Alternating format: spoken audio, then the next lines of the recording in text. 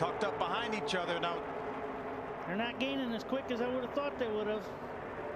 But John here they West come. Townley on the outside in that 0-9. Here comes the 25 of Joey Logano. Up the racetrack goes the 32 of James Buescher. He's making that car as wide as he possibly can as they work their way through four and out into the tri-oval. James Buescher is, able, is going to be able to do it, Rick. James Buescher trying to hold on. Will he do it? Buescher wins in 2009.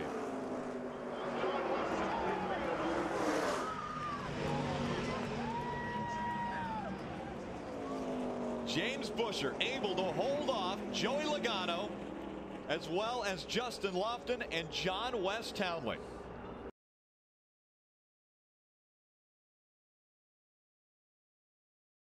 And the 25 is not slowing down the backstretch. Sean Caisse looking for his first ARCA REMAX Series win, and it's going to come at the Rock today. Coming out of turn number three, the 25 looks like it will go to victory lane again, this time with Sean Caisse behind the wheel. How about that? You never know these things now Never until it's over. Patrick Sheltra is going to end up with a second place finish. Matt Merrill, great run, career best third place finish. Brian Silas comes home fourth. Unbelievable run. Another career best finish for Brian Silas and Parker Kligerman with a number another top five, five races, five times in the top ten for Parker Kligerman in his career.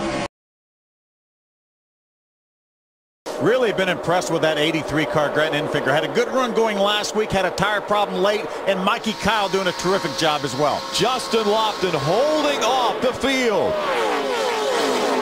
Through three and four. Can he hold off? Bill Baird for the final less than a mile here at Talladega Super Speedway. Out of turn number four. The fans are on their feet. Does Bill Baird have anything for Lofton? Will Lofton get his first win in the ARCA REMAX Series? Across and through the tri-oval and to the finish line. Justin Lofton wins at Talladega. What a nice job by Justin Lofton holding off Bill Baird on that restart. He got about three car lengths and really didn't let Bill get any closer than about one car length. Well, that that car was really good, but I have been real impressed with Justin and that uh, whole Eddie Sharp team this year because he has been solid everywhere and really has showed a, a lot of uh, savvy as far as the choices that he's made on the racetrack.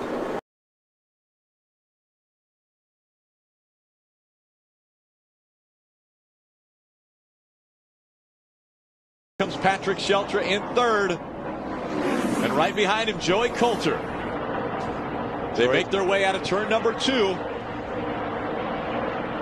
Race leader making his way through turn number three. And now the long straightaway. He will see the checkered flag. It will be Joey Logano winning again in the ARCA REMAX Series. Great job by Justin Lofton. Another top two finish. Patrick Sheltra gets the look at this. Ooh, little contact. back there. Parker Kligerman moved to the bottom of the racetrack. Looked like he was able to get by Rob Brent. They made a little contact right at the start finish line. But what a day by Joey Logano. Wow. Great performance by Joey Logano, holding off all challengers.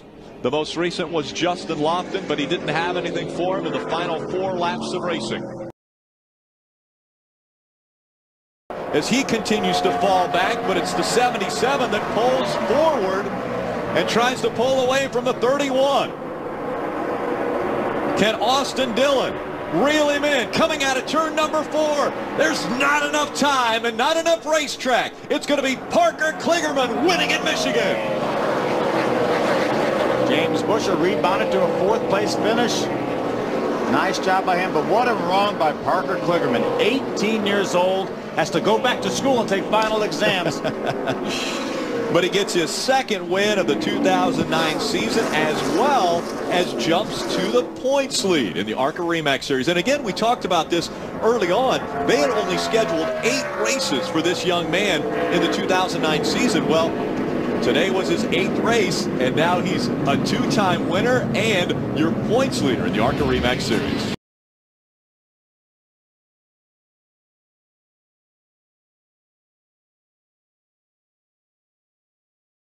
Other cars are in that window right now. Here they come to the stripe.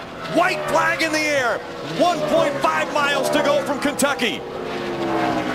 If can just keep even till they get off of turn two and race him down the backstretch. Coming out of turn two. Kligerman has the advantage as they go down the backstretch, side by side. Now Enfinger fighting back on the outside.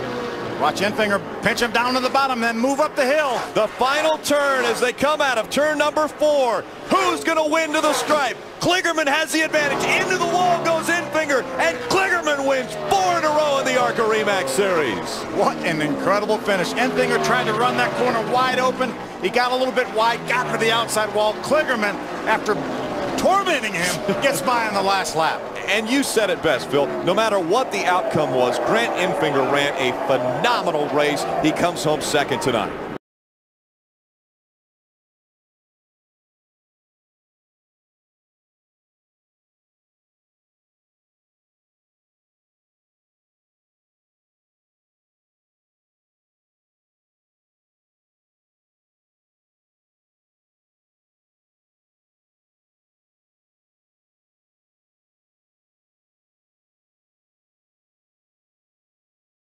The final half lap. Parker's going to be on the bottom, so Justin, if he's going to make a move, he's going to have to do it on the top.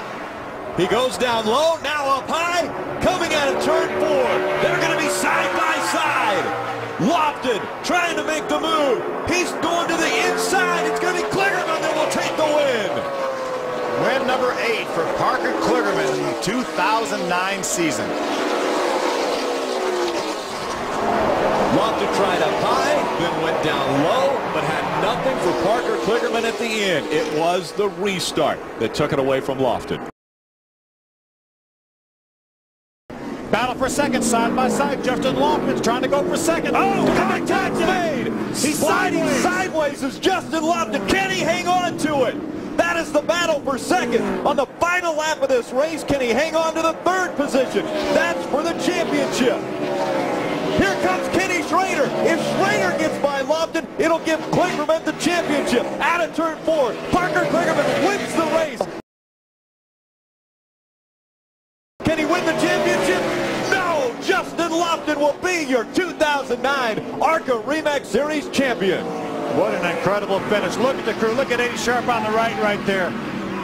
Jubilation. Three times they've been in this position. Finally got it. Parker, Parker Kligerman's guys congratulating each other. A great performance by both drivers today. Justin Lofton in the last lap looked like, I, I want to go for another position. They slid up the racetrack. There was contact made. And all of a sudden, here comes Kenny Schrader into the championship mix.